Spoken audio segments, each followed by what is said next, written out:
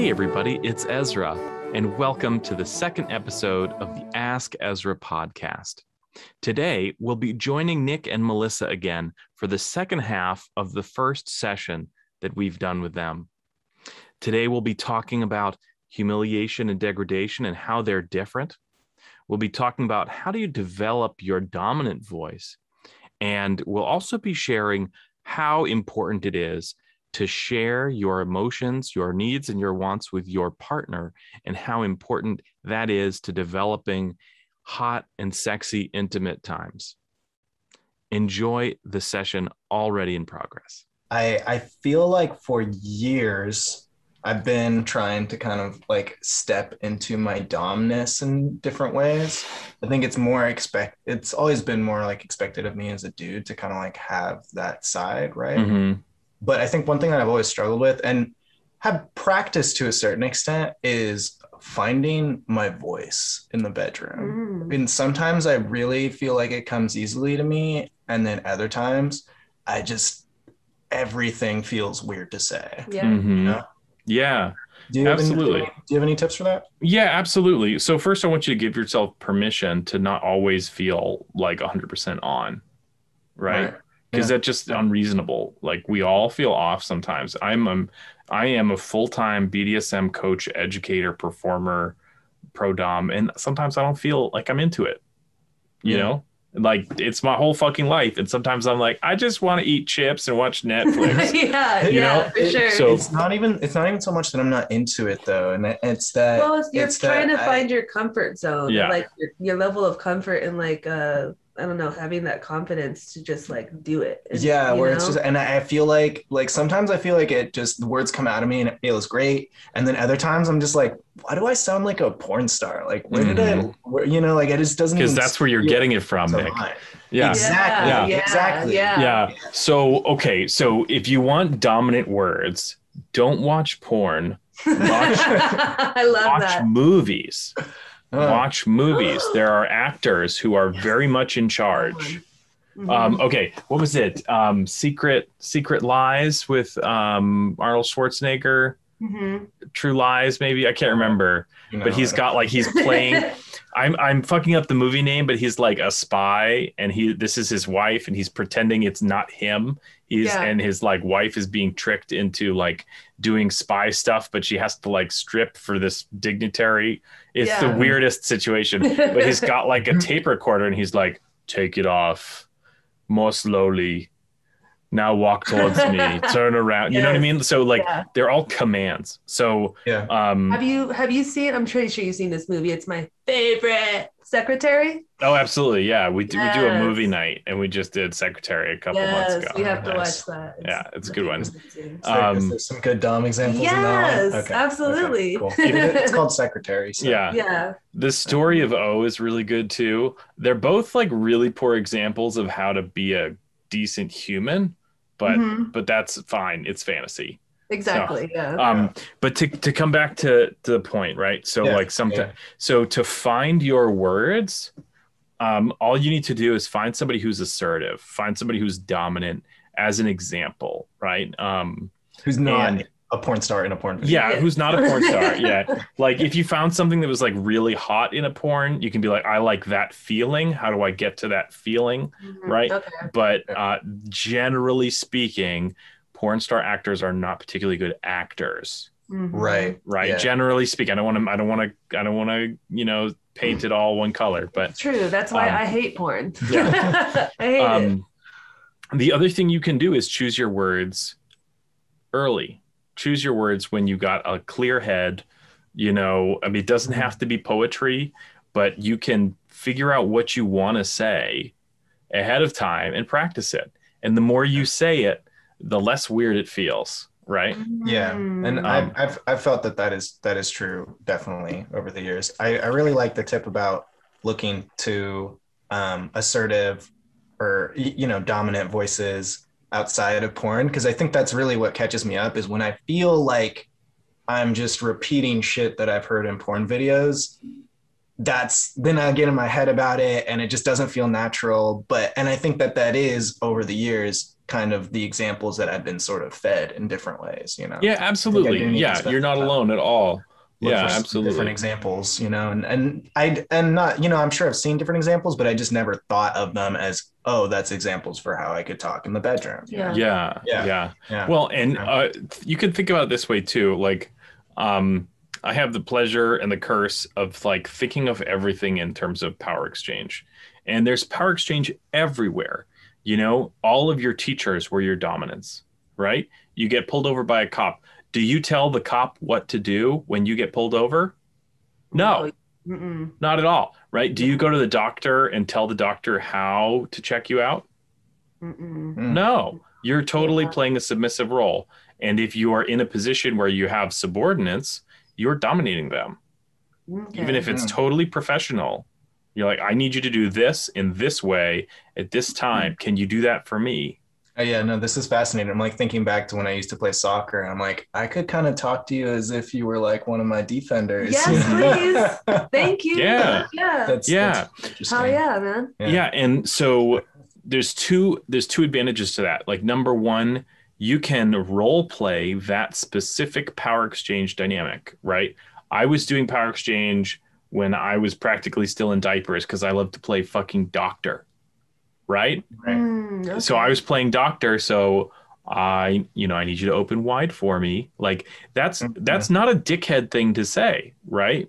Yeah. that's like that's really kind like okay you know hold still right that's like a very kind demeanor and so when we when we role play we get a chance to sort of like pick our attitude right so um, you could pick that you know arnold schwarzenegger character right or you could pick the doctor the generic doctor or the police officer or whatever you know you get to do you get to choose whatever you want to be you can get like really detailed like okay like you're a prisoner and i'm the prison guard but we had a relationship and then it ended but you're still trying to get something out of me and i'm resistant like Oh, you know you can yes. you know it That's could so be dope.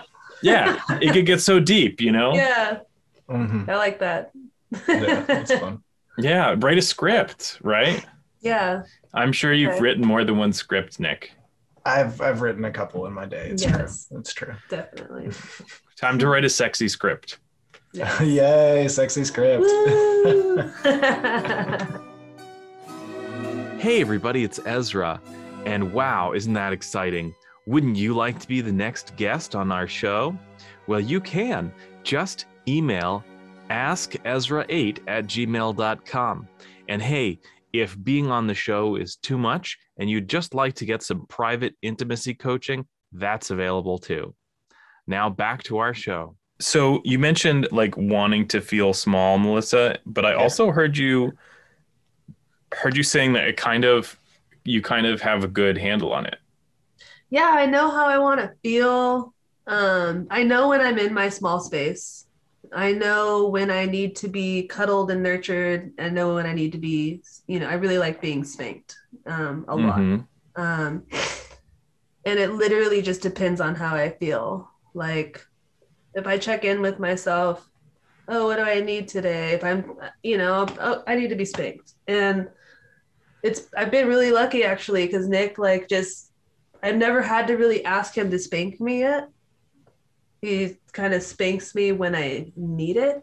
Um, but not, but, um, I like to be like, I like pain, like really high pain. I have a really high pain tolerance and I like bruises. I like the pain on top of the bruises. And I personally like don't know I don't know how to like get that feeling of like asking for what I need. Um if if I'm like wanting to be bruised or if I'm wanting to feel that sensation. Um Are you? Does it make you nervous to ask me to just to hit you that hard? Yeah, it does. Because I don't want kind of the same thing with me wanting to be like really dominant. I don't want to be off putting or like scary because I like really hard hits. Hmm. You know? Yeah. Well, there's um I think it's great because it this is coming from a genuine place of concern, Yeah. right? Yeah. Yeah. Um, so that's great. It just shows you care for each other. Yeah. Um, but I think that this is almost like a syndrome that comes from being socialized as a woman, right? Mhm. You're often told that your feelings or your needs are not important and that the comfort of others is more important. And Yeah. I, I want you to realize right now that that's garbage, dog shit, patriarchy bullshit. I appreciate you saying that. I was Yeah. the way I was raised was definitely, you know, exactly like that. Yeah. more- So, so it, so the way I imagine it feels is Mhm. that being silent is a favor because you're not making the other person uncomfortable, right? But I want you to know that that's not a favor, right? The favor is being vulnerable and being honest and being open and asking for what you need. Yeah, Okay. and I of course like want to make you happy. So you know, Yeah. like if you, yeah. So I like, just- I'm, you know, if you want me to hit you harder, like I definitely want you to let me know. okay. Yeah, yeah, And I Yeah. guess it would be like I guess I should say this like I would want to know how you feel about hitting me that hard. You know? Mhm. I think it's the kind of thing where we could plan to do it almost. Be like, hey, you know, like next time we hang out or today, you know, I'm gonna ask you to hit me a little harder. I'll, I'll be like, yeah, I'm gonna hit, try and hitting you a little bit harder. You should let me know, Mhm. and we can Mhm. check in about it afterward. You can ask me how it felt. I can Yeah. ask you how it felt. Yeah. Okay. Yeah, absolutely. De- you know, decompress and Mhm. like unpack is super important so that you can get really confident about those activities. And this is another opportunity you can like make a script, right? I know I've sort of this is I feel like a broken record right now, but um but you can you can come to a place of vulnerability and say it's really hard for me to say this. So I'm going to say it this way every time. So you know that here I am being vulnerable. So, like Oh. an example might be, Daddy, can I ask you something? Mhm. Right. And like now you're sort of saying, okay, like I want to be in little space and I want to ask you something and I'm being really vulnerable. And Okay. because you had that conversation, like, hey, this is what I'm going to say when I'm feeling vulnerable. Now Nick knows, okay, really pay attention here because her feelings are on the line. Right. Yeah. Be- Okay. be- because you could, he could be like in the middle of washing the dishes. You could say, "Hey, can you hit me hard?" And he's Exactly, like, he's like not paying attention, you know, Yeah. and he's not really at fault for not giving you full attention, right? Mm-hmm. But if you sort of preface the conversation, say, "Hey, can can we have this conversation?" Right? Um, Do you like that? Do you think I- that would make it easier? I mean, it's 'Cause it- another conversation about using the word daddy and how that makes you feel. Sure, but I, I think in general the idea of of using some sort of voice when you are trying to ask me for something that you feel like normally you can't ask for or shouldn't ask Yeah. for. You think that would work? That definitely would work because I do like I don't baby talk, but I do like you know when I do like my you know baby thing like that. Yeah, you know, yeah, I would yeah. kind of sneak in your ears and be like, "Daddy, can I ask you something?" You know, just Yeah, kind of Yeah. Yeah, we can talk yeah. about it. well, and the words I picked don't have to be the words you use, Yeah. right? I just Yeah. sort yeah, of like but picked them I, I like that. Like it's Yeah. a kind of we haven't really talked. One of the things we're my like going to figure out or trying to figure out is the whole use of the word daddy because I do like the daddy girl dynamic. You know, Mhm. I like the small. I like a whole bunch. Of, I like being a slave. I like all the things, but it's about like how do you feel hearing the word daddy? Like you know, what does that trigger in your brain versus like my brain? Mhm. I don't want it to be like, you know, I don't want you to think I'm seeing my dad in my head or some shit like that. Mhm, mhm. You know what I don't. mean? I Yeah. definitely Because I like saying daddy, and I like kind of like I like how you said that. Like, daddy, can I can I ask for something? You know, because then it allows me to be in my small space, and I don't have to really. I don't have to like choose anything. I'm asking Mhm. you for permission if I can tell you something. I don't know. I just like. I like how you said that. Well, and I think I think you're I think I hear it that you're not like necessarily expecting success every time, and I love no. that. You know, when Yeah. you're you're really there's nothing so uh, submissive as Mhm, expressing your desires mhm. without expecting a specific outcome, Yes. right? So giving him the opportunity to deny you Yes. is, can be super hot, right? You don't Nick, exactly. you don't have to feel into it every Yes. time. exactly. You could You know? literally just be like, "Not right now." Not right now. oh my god. or what are you gonna do for me first yeah. or how uh, hard you how long can you it. wait yeah you can Yeah. you know denial can be super sexy i'm i'm all about the tease Yeah, of I denial like Yeah, I know you're into it. Yeah, I like that shit a lot. Um, two examples of how I use that in my household. Um, if I, I tend to be kind of tactless somehow, somehow I'm like really tactful, and then other times I just fucking like it's like I don't even understand what tact is, right? Mhm, And so my Mhm. partner will like put a hand on mine, mhm. right? And that's my indicator that I need to watch my tone or how I'm talking or how honest I'm being in the moment, right? And so that gives me an opportunity to not be humiliated because I'm really sensitive to Oh. humiliation. Because if my partner said, "Hey, you're being kind of an asshole," then I I might not react well to that, right? I might feel Yes. really humiliated and I don't like that. So Yes. the hand on the hand is like a physical indicator and then she's got like a look that she could give me, right? If the hand on the hand doesn't make sense to me, I'm like, yeah. Mhm. "Oh, okay. No, I know what's going yeah, on." no, I know those Uh, eyes. Time for me to shut the fuck up.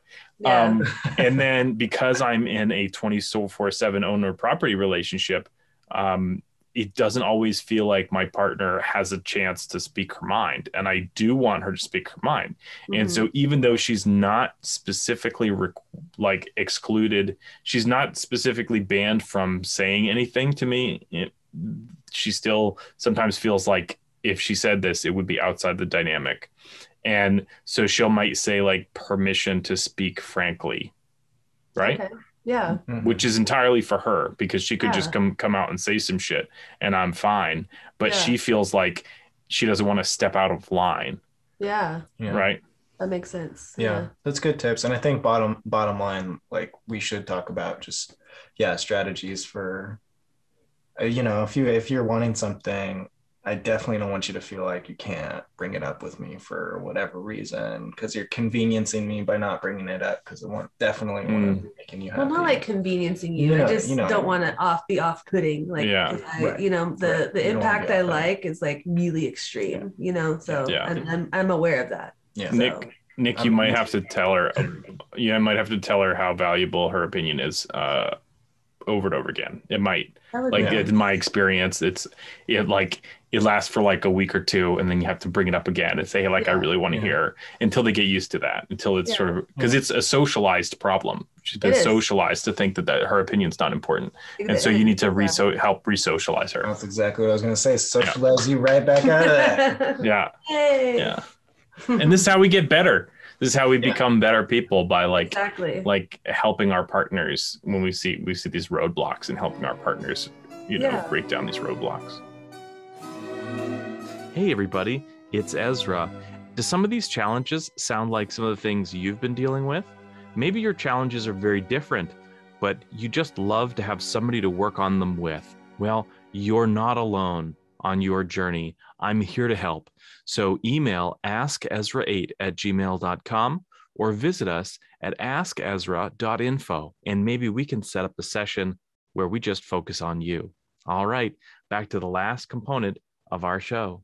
The last thing on the list was degradation. yes. yeah Do you guys practice it? Do you want to? Is it is it I don't even. So that one, I think of all the things that were on the list, was perhaps the most of them a mystery to me. I've um, had some experience with it, with receiving it. I really, really, really like receiving it. And I have a thing with like, you know, things in public, but it's that's kind of touchy because there's the, I mean, yeah, I like work in the restaurant industry and I don't want to see like the customers, you know, in public while I'm getting like caned on a fucking light pole or something. Mhm. You so know, yeah, so on. you work in the restaurant industry, so you don't even have to worry about Nick degrading. You can just let your customers do it. right? Exactly, yeah.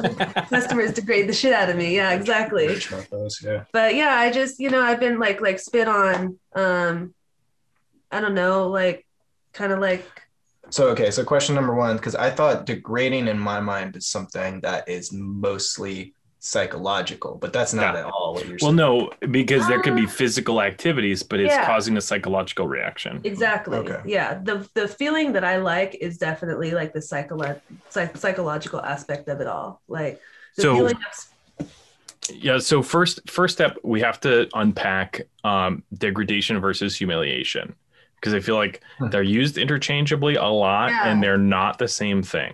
Okay. Okay. So degradation is the opposite of ennobling, right? So degradation has everything to do with your station in the world, okay. right? So um, if you get fired, that's degrading. If you get Mhm. hired, that's ennobling. Okay. right? Okay. If somebody decides that you're royal, if somebody, you know, gives you a call and says, you know, your great uncle died and he was a king and now you're next in line, right? Now you're royalty, that's ennobling. That's where the word comes from, right? Mhm. Um, conversely, if you thought you were royalty and it turns out it was all a sham, that's degrading, right? okay. Um, so up and down on that social scale, that's degrading, right? Um, now, humiliation speaks to a specific feeling of embarrassment, right? Yeah. And there needs to be some kind of an audience, even if it's just an imagined audience.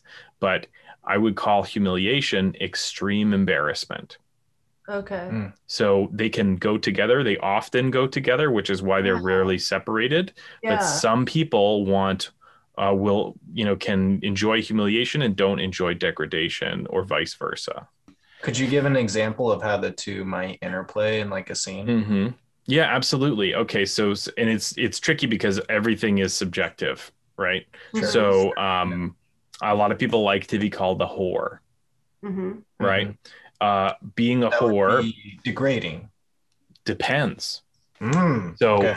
uh, a lot of people feel like a, a prostitute is low on the social scale right? Mm, and mm. so being called a whore for those people is degrading Right. Okay. yeah. right however everybody runs around giving sex away for free so if you got paid to do that boy that's ennobling yeah. Sure. Right? Okay. Yeah. um, yeah. so the question is do you want to be uh, like a filthy worthless whore or do you want to be the best whore Definitely filthy worthless. okay yeah, Yeah. so that's degrading Yeah. yeah Mhm. worth when we're talking about worth Mhm. that's that's degrading yeah yeah. okay. yeah Yeah. and now the the question that sort of is the titration for uh, humiliation is have you ever been embarrassed erotically No, I. I what if we told everybody that you were a filthy worthless whore I it makes me smile because like but is it empowering because you're like showing your true self or is it like kind of erotic because it's em- it's like an embarrassing situation I feel like it's erotic because that in society is looked down upon. It's like not, you know, it's like I don't know, not accepted, if you will. So just Mhm. because of that, like it feels good for me, you know, Yeah. like yeah, I'm, it's kind of hard for me to explain. Like yeah I, it's tough Yeah. Like if somebody were to call me a filthy whore in public, like at a bar or something, it would put a smile on my face and make me want to drop down to my knees and suck your dick, you know, in yeah front of everybody. Mhm. Yeah. Yeah, so Um, it sounds like it sounds like it's it's both uh and you know both humiliation and degradation. Yeah. So I would challenge you to make a list of things like um activities and words Mhm. and and try to pull them apart for your own benefit, but they don't really necessarily have to be two different lists. Um so choose like make that list about what is humiliating, what is degrading, what is really erotic, what words are like a positive trigger, what Okay. activities you mentioned like face spitting.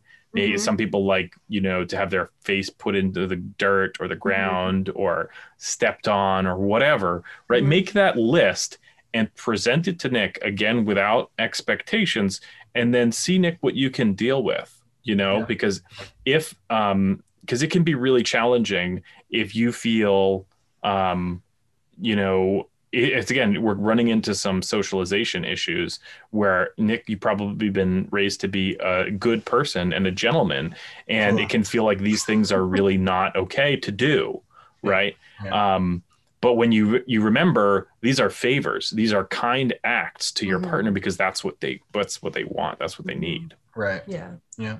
And if you want her to come really hard you might just have to step on her face Yeah. so would that be degrading or humiliating? Depends on the person. It depends. Yeah. All right. Yeah, and Yeah. you don't have to fig- you don't have to bother to figure it out because it sounds like she likes both. Yeah. Um, now it's with that along with that list of of hot things to say, you should also come up with a list of things that are really not hot, that are turn offs, Mm. right? Yes, And yes. even if they're like neutral, even if you're like, I don't mind that, but it doesn't do anything for me, put that on your no list because, like, some people, for example, are like, call me worthless whore all day long, but if you call me a bitch, it's Yes. over. I was right? just gonna say the word Mm. bitch. It's Yeah. not. It doesn't click for me. Mhm. You know, when I hear bitch, I'm like, what? What you want to do? Like, what, Yeah, you're- What, you yeah, know? your fight or flight is engaged. exactly. Yeah. I'm like, let's go take this outside, man. You know, Yeah. Different. Yeah. Yeah. yeah. So make the list and flush it out. Really flush it out because Okay. the worst thing is to be in the middle of it and find one of those words. Okay. Right. And then neither one of you is really at fault for for doing that, but it it can be a growing moment and and sometimes we just want to fuck and not have growing moments. Yeah. Yeah. Yeah. Yeah. True. Totally. Awesome. so you got a keeper on your hands there, Nick. Be good to her. I know it. I know it. I will. you are. Um, thank you, Sir Ezra. Yeah. That was Yeah. so good. My pleasure. No, this Yeah. is fun. I'm happy to help. Yeah. This So- is amazing. Yeah. Super Yeah. cool. That's what I Um, do. I feel like I feel like as soon as we get off of this, I'm gonna write some shit. Oh, we're hella talking. Yeah, we're hella talking right now. Yep. Um, You got me excited. I thought you were gonna say you were gonna fuck right after this thing. oh, we're gonna do that no, too. We'll, we'll probably do that at some point too. Yeah. Yeah, Think like of me. Yeah. I hope you've enjoyed the Ask Ezra podcast. If you'd like to be kept up to date about upcoming episodes, classes, book discounts, anything like that, then email us at askezra8 at gmail.com and just let us know you'd like to be added to the mailing list. Thanks for watching.